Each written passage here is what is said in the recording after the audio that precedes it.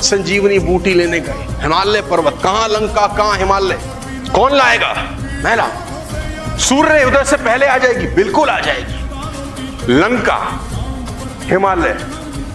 कहते हैं कि हनुमान जी ने जब छलांग लगाई तो हनुमान जी जाते हुए नहीं दिखे। एक रेखा जाती हुई दिखी, इतनी तीव्र गति से गए। और खाली जाना नहीं था, और रास्ते में रावण का बैठा है बंदा। वो काल नेमी बैठा है बीच में। रावण ने बोला, रोक! इसको रोक। काल नेमी ने बोला, किसको रोकना है? बोला, उस बंदर को रोक। हनुमान को। और काल नेमी ने बोला, ये नाम तो सुना सुना सा लगता है। हाँ कौन है? ये वही तो नहीं है जो कुछ दिन पहले तुम्हारी लंका आया था।